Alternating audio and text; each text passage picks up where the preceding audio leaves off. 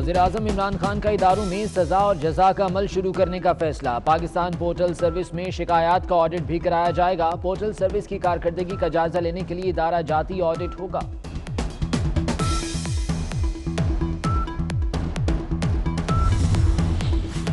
M Q M convener Khalid Maqbool Siddiqui کا وزیر اعظم عمران خان کو خط۔ ایم کے ایم پاکستان کے رہنماؤں کو فول پروف سیکیورٹی فراہم کرنے کا مطالبہ۔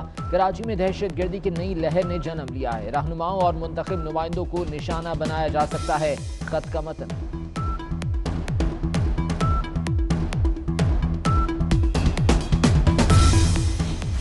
عوام کے لیے اچھی خبر۔ اوگرا کی جنوری کے لیے پیٹرولی مصنوعات میں پندرہ روپے تک کی کمی کی سفارش۔ سمری وزارت خزانہ کو ارسال کر دی پیٹرول ساڑھے نو روپے، ہائی سپیڈ ڈیزل پندرہ روپے فی لیٹر سستا کرنے کی تجویز۔